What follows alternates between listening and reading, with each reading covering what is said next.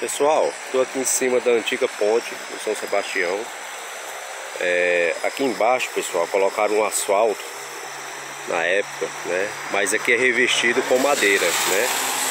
E a sua estrutura é, embaixo da madeira é de trilho de trem. Igual esses aqui, pessoal, ó. Aqui é uma passagem molhada,